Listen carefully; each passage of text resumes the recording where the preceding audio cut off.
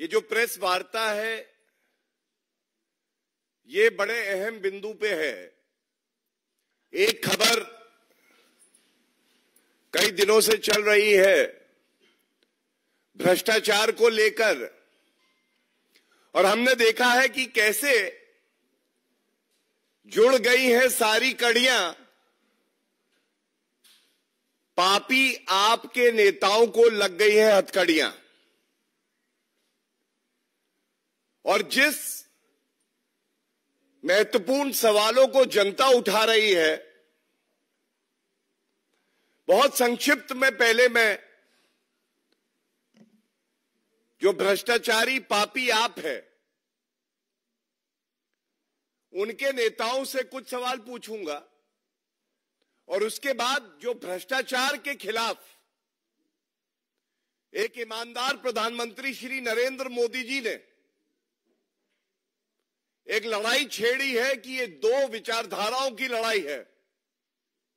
एक तरफ़ सारे कट्टर बेईमान, पापी भ्रष्टाचारी जिनको न्यायालयों से कोई राहत नहीं मिल रही, वो खड़े हैं। दूसरी तरफ़ एक ईमानदार प्रधानमंत्री 140 करोड़ जनता,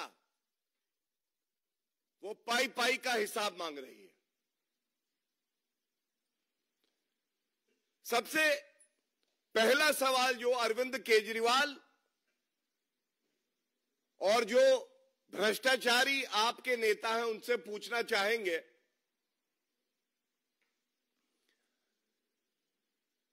ये जो न्यायालय जाते हैं अरविंद केजरीवाल, और अब आप गिनिएगा।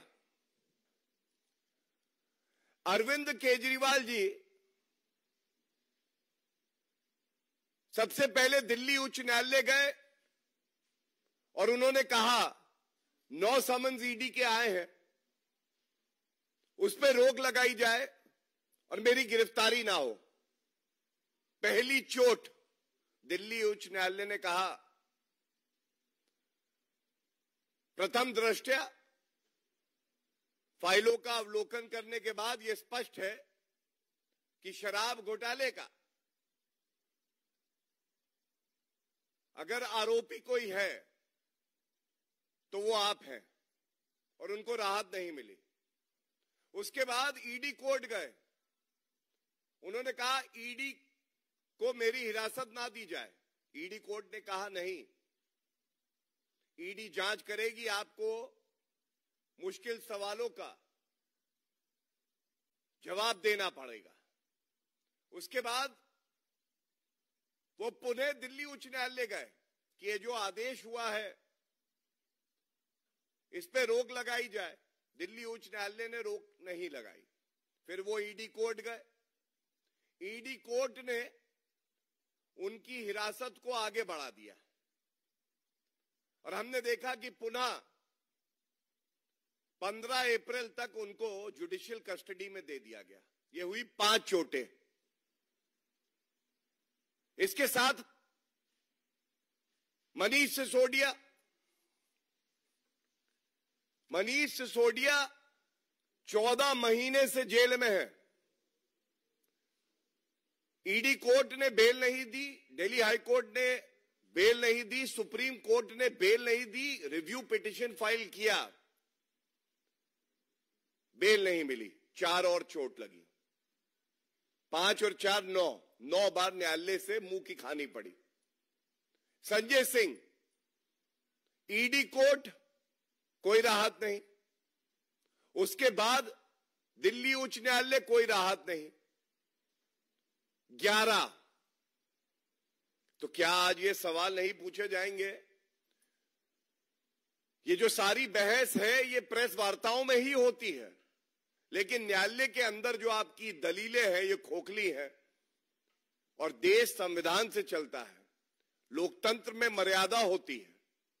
न्यायालय फैसला करता है कि किसको बेल मिलेगी, किसको नहीं। इस पे आपका कोई प्रवक्ता कोई जवाब नहीं देता है। दूसरी बड़ी बात, क्या यह सत्य नहीं है कि मनीष सिसोदिया की गिरफ्तारी हुई, आपने उनसे इस्तीफा लिया? आपने सतेंद्र जैन से भाजपा ने ही दबाव बनाया, जनता की आवाज़ बन गए। आपने इस्तीफा लिया। आज ये दोहरे मापदंड क्यों है, अरविंद केजरीवाल जी? आप स्वयं आज आरोपी हैं, जेल की सलाखों के पीछे हैं तो आप इस्तीफा नहीं देंगे। लेकिन मनीष सिसोदिया और सतेंद्र जैन से आपने इस्तीफा ले लिया। और I must definitely say That the people of Delhi deserve a better CM they deserve a CM who can give them an honest government, a transparent government, not an accused of a serious corruption charge who wishes to augment his own income and run a government from behind bars. Delhi की जनता कह रही है साडा हक एथे रख। बहुत हो गया आपका भ्रष्टाचार। तीसरी जो बड़ी बात है, जेल से सरकार चलेगी। अरविंद केजरीवाल जी, आप जब भारतीय राजनीति में पहला कदम रख रहे थे तो आपने कहा था, किसी पे आरोप लगे तो उसको इस्तीफा दे देना चाहिए। जब उसका नाम पाक साफ़ हो, उस पर कोई आरोप ना लगा हो, उसके बाद वो पुनः राजनीति में आए और सार्वजनिक जीवन में आए।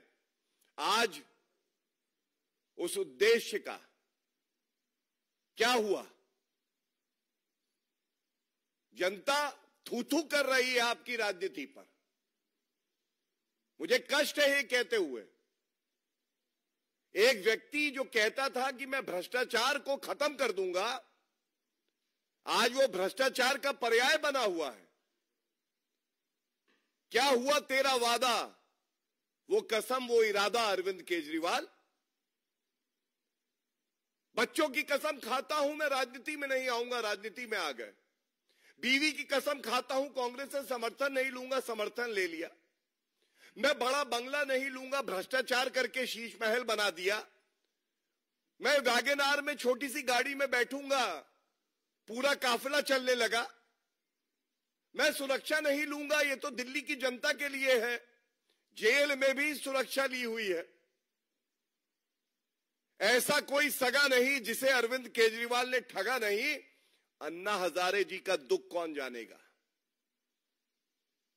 जिसने अपने गुरु को नहीं बख्शा, दिल्ली की जनता को नहीं बख्शा। कीर्तिमान बना दिए हैं भ्रष्टाचार में।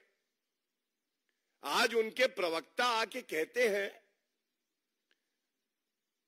हमें खबर मिली है कि हमारे घर भी रेड होगी, हम भी गिरफ़्तार होंगे।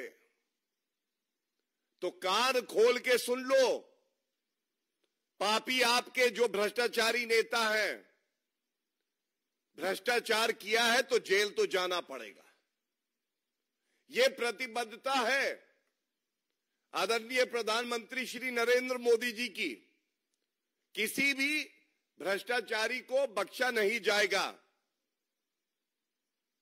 और ये सब जान गए हैं कि ये जितनी बार आके प्रेस वार्ता करके कहते हैं, हमें डर नहीं लगता है।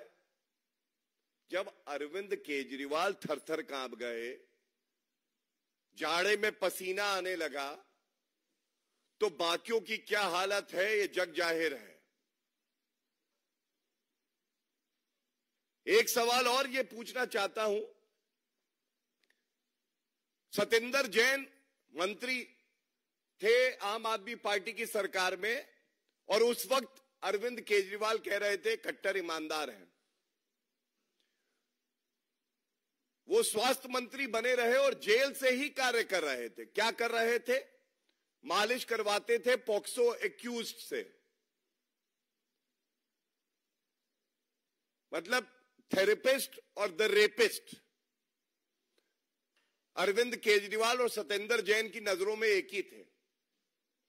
आज the question that we wish to ask from this platform is of constitutional morality नैतिकता, संवैधानिक नैतिकता की बात करने जा रहे हैं। सबसे पहली ज़िम्मेदारी मुख्यमंत्री की, जो डेढ़ करोड़ दिल्ली वासी हैं, उनके प्रति आपकी ज़िम्मेदारी है। अब आप मुझे बताइए, कोई निर्णय लेना हो, अति आवश्यक हो, कोई संकट हो, केंद्र सरकार तो खड़ी ही रहेगी। लेकिन संविधान में आपकी जो जिम्मेदारियाँ हैं, आप निर्णय कैसे लेंगे? आप तो कहते थे कि अगर किसी के नाम पे दाग लगे तो वो इस्तीफा दे। आज आप एक नया कीर्तिमान बना रहे हैं कि एक सिटिंग मुख्यमंत्री जेल की सलाखों के पीछे से सरकार चलाने जा रहा है। और चिंता की बात यह है, नैतिकता बची नहीं है, जिस कुर्सी पर मुख्यमंत्री अरविंद केजरीवाल बैठते थे, उस कुर्सी पर बैठकर दोनों तरफ़ तिरंगा लगा है, वहीं से परिवारवाद की बू आ रही है। और संदेश मज़बूत दिया है अरविंद केजरीवाल पापी आपके कन्वीनर ने। आम आदमी पार्टी में कोई ऐसा नेता नहीं है जो इस लायक हो कि दिल्ली वासियों की सेवा कर सकेगा। या तो मैं हूँ या मेरा परिवार है। तो अरविंद केजरीवाल का दोगलापन इससे प्रतीत होता है। उन्होंने कहा, भ्रष्टाचार खत्म कर दूँगा। खुद भ्रष्टाचारी बन गए। उन्होंने कहा, परिवारवाद के खिलाफ मेरी लड़ाई है। तमाम बयान है उनके।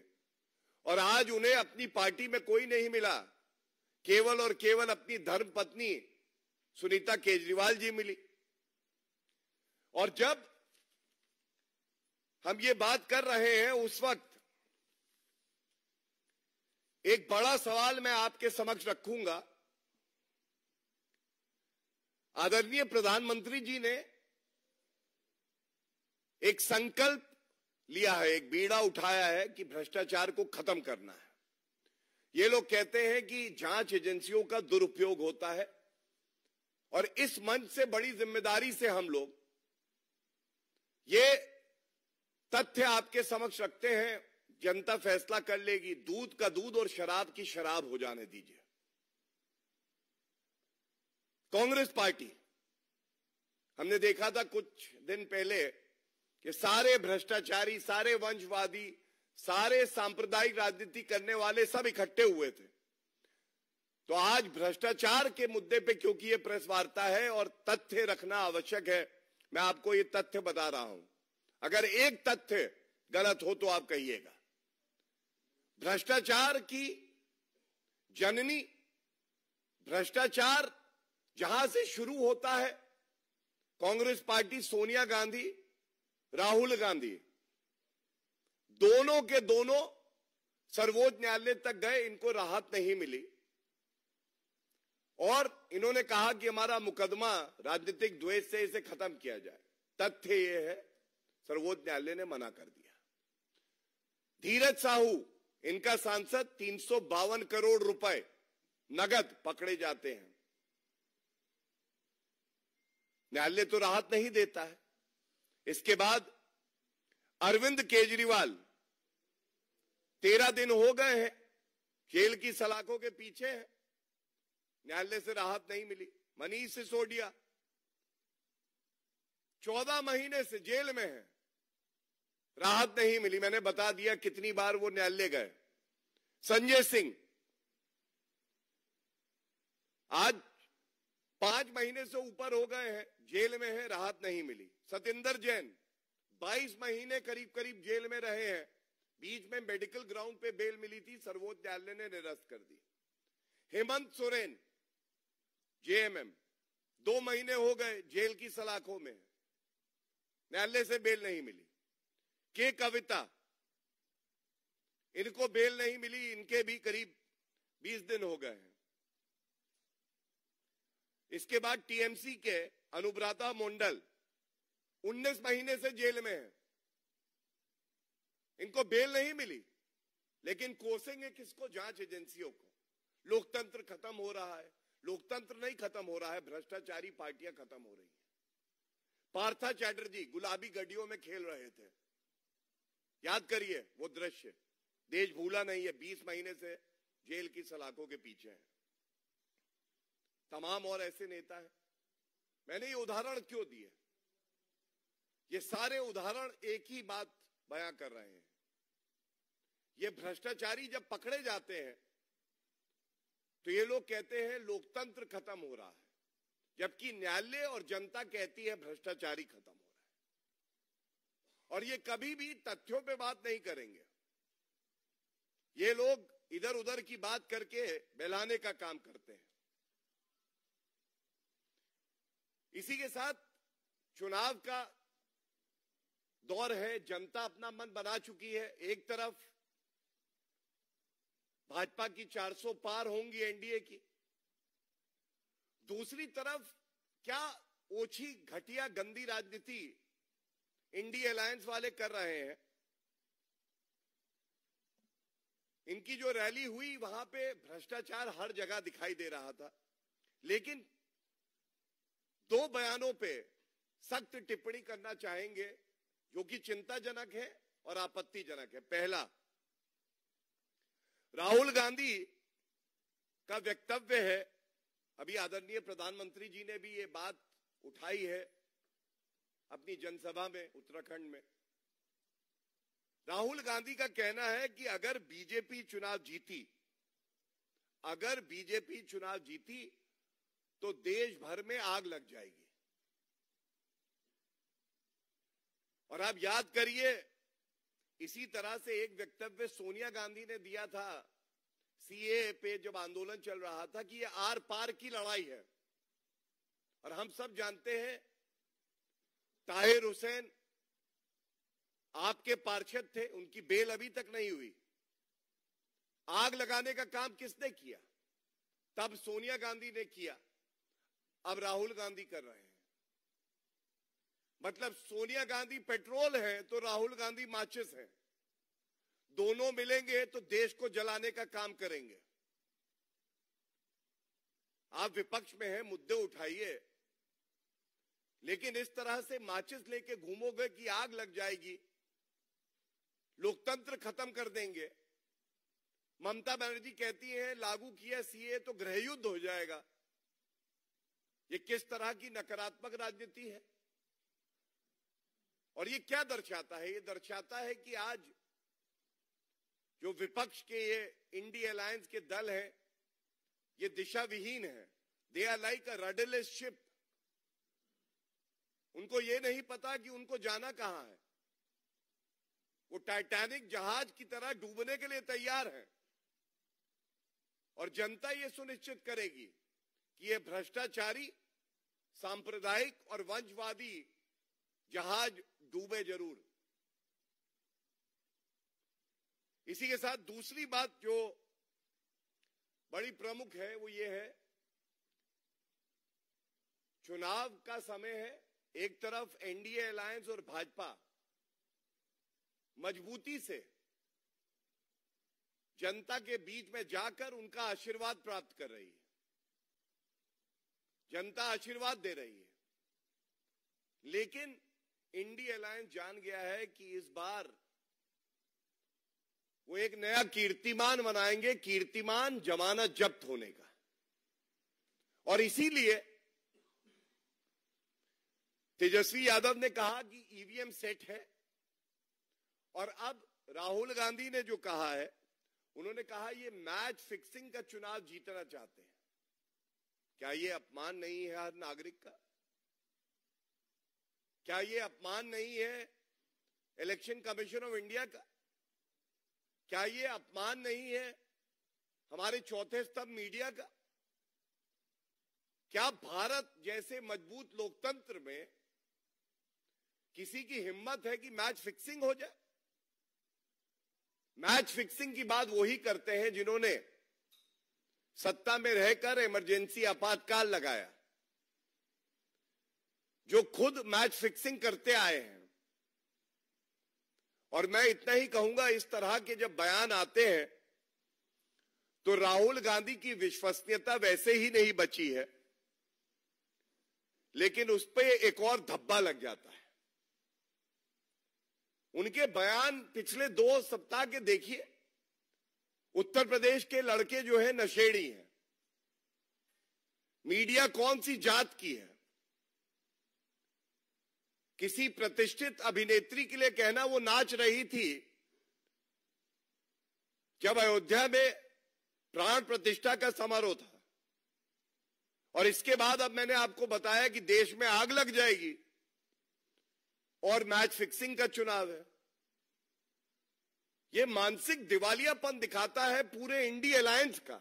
और यह एक बड़ा मुद्दा है। हम बात कर रहे हैं रोज़गार की। हम बात कर रहे हैं कैसे देश आगे बढ़ेगा। हम बात कर रहे हैं कि सबसे, तीसरी सबसे बड़ी अर्थव्यवस्था भारत बनेगा। हम कह रहे हैं 2047 तक हम एक डेवलप नेशन होंगे। और ये मीडिया से जात पूछते हैं, अभिनेत्री का अपमान करते हैं, आग लगाने की बात करते हैं। क्या विपक्ष का ये एजेंडा है? और इसीलिए कहना गलत नहीं होगा। और मैं अंत करूँगा इस बात से। बहुत ही निर्णायक चुनाव है ये। और इस निर्णायक चुनाव में एनडीए को 400 पार सीटें मिलेंगी। देश की जनता ऐसा करारा जवाब देगी। ये जो इंडी अलायंस है, इनको अपनी राजनीतिक हैसियत और नकारात्मक राजनीति करने का जो परिणाम होता है, दोनों का जवाब मिलेगा। धन्यवाद।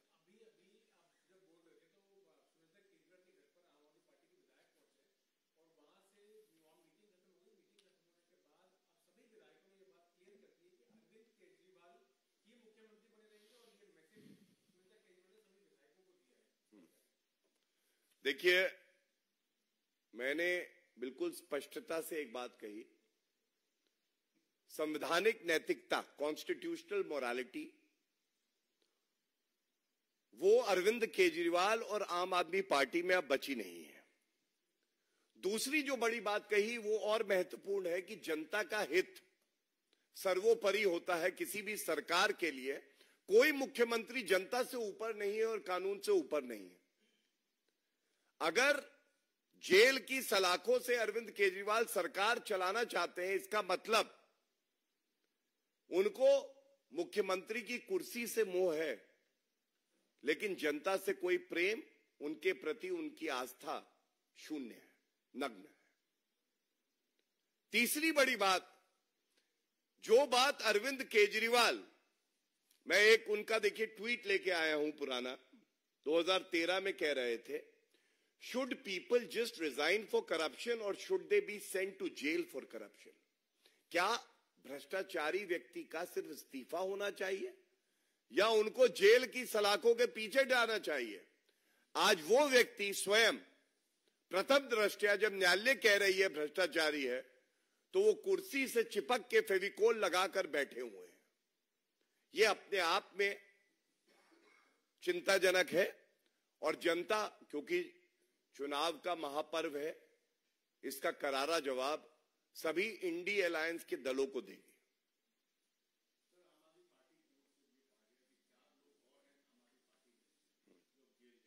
हम्म।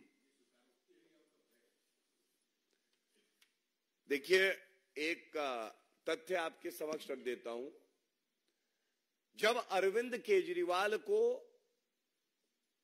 छह सात महीने पहले यह आभास हुआ कि ईडी का शिकंजा उन तक पहुँच रहा है। तो हर दूसरे, तीसरे दिन इसी तरह की एक प्रेस वार्ता करके कहते थे कि अरविंद केजरीवाल गिरफ़्तार होने वाले हैं। और अब वही नाटक जो छोटे कलाकार हैं, पापी आप में, वो लोग कर रहे हैं। जो मुद्दे की बात है, समझने की बात है कानून अपना कार्य करता है, जाँच एजेंसी अपना कार्य करते हैं। अगर आपने भ्रष्टाचार में कोई भूमिका निभाई है तो ये अति आवश्यक है कि ऐसा व्यक्ति जेल की सलाखों के पीछे जाए और जो जनता की गाड़ी कमाई है उसको वसूला जाए। तो ये कुछ नहीं है, ये ढोंग है, नाटक है, क्योंकि आम आदमी पार्टी में किंगपिन तो अरविंद केजरीवाल हैं, लेकिन जितने छोटे कलाकार हैं, इन्होंने भी घोटाला करने में पूरी तरह से अपनी भूमिका निभाई है।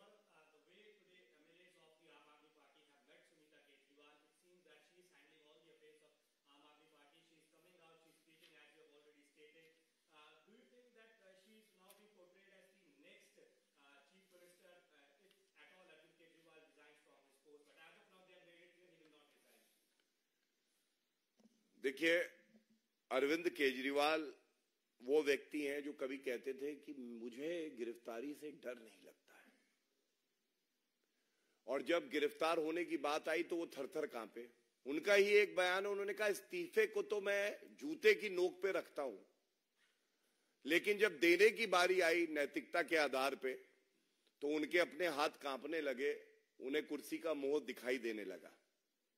इसी तरह से जो बात आप कह रहे हैं, ये किसी भी पार्टी का अंदरूनी मामला होता है। लेकिन एक बड़ा संदेश जनता को यह गया है कि जनता की फ़िक्र आम आदमी पार्टी को नहीं है पहला। दूसरा, अरविंद केजरीवाल को अगर लगाव है तो वो कुर्सी से है, जनता से नहीं है।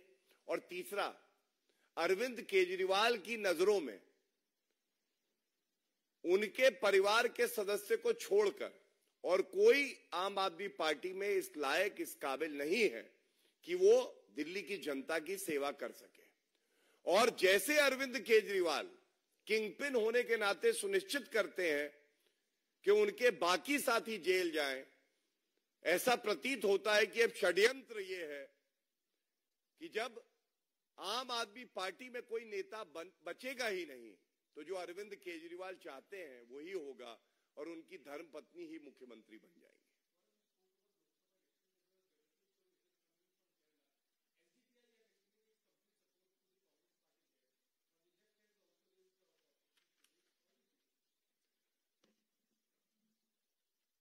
The people of the country are aware of a close nexus between Congress party the allies of the India Alliance, as well as SDPI.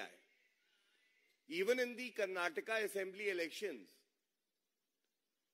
there was an understanding between the Congress and the SDPI.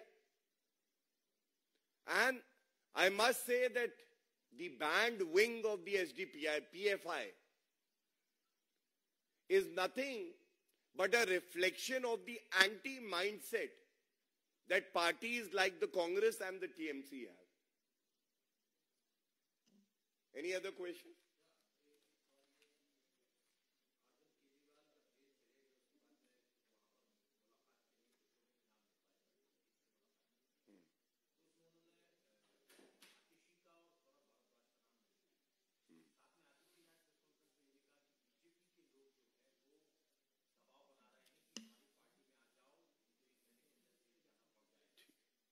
I think that question I already answered वो प्रश्न का उत्तर दे चुका हूँ, लेकिन आपकी बात पे एक चीज़ ज़रूर कहूँगा। क्या अरविंद केजरीवाल का सपना है कि पूरी कैबिनेट जो है जेल से ही चलाऊँगा? और ये जो सूचना आई है, जेल नंबर वन में मनीष सिसोदिया है, जेल नंबर टू में अरविंद केजरीवाल है, जेल नंबर पाँच में संजय सिंह है, जेल नंबर छह में के कविता है, और जेल नंबर सात में सतेंद्र जैन है। सारे जेल भर दिए ऐसे हैं हमारे अरविंद केजरीवाल जी। वो कह रहे हैं कि मैं तो जेल से ही सरकार चला लूँगा। वहीं से वसूली भी कर लेंगे। लेकिन वो भूल गए हैं। एक एक रुपया जो उन्होंने भ्रष्टाचार की कमाई से अपनी तिजोरी में डाला है, उसको तिजोरी से निकालेंगे भी और जनता के हित में हम इस्तेमाल भी करेंगे। यही हमारा निश्चय है और कोई पापी बचने नहीं पाए